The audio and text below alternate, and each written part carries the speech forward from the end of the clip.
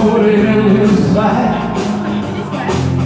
Right early next morning, he brought my letter back.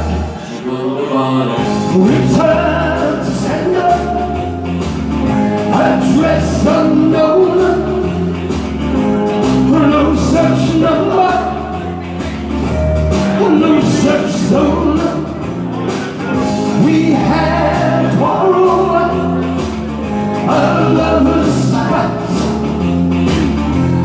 Write, I'm sorry, but my letter keeps coming back.